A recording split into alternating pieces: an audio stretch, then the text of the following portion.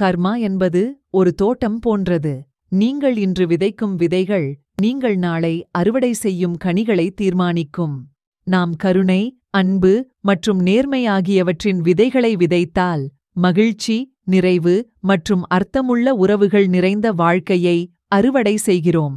ஆனால் எதிர்மறை சுயநலம் மற்றும் தீங்கு ஆகியவற்றின் விதைகளை நாம் விதைத்தால் வலி வருத்தம் மற்றும் தனிமை ஆகியவற்றை அறுவடை செய்கிறோம். வாழ்வின் சிக்கல்களில் நாம் செல்லும்போது நாம் விரும்பும் எதிர்காலத்தை மலரச் செய்யும் விதைகளை விதைக்க ஒவ்வொரு தருணமும் ஒரு வாய்ப்பாக இருப்பதை நினைவில் கொள்வோம். வாழ்வின் பிரம்மாண்டமான ஓவியத்தில் நாம் எடுக்கும் ஒவ்வொரு செயலும் நாம் பேசும் ஒவ்வொரு வார்த்தையும் நாம் கொள்ளும் ஒவ்வொரு சிந்தனையும் அழிக்க முடியாத முத்திரையை பதிக்கிறது. இதுவே கர்ம விதியின் சாராம்சம். நாம் நமது சொந்த தலைவிதியின் கட்டிடக் கலைஞர்கள் என்பதை நினைவுபடுத்தும் ஆழ்ந்த கொள்கை.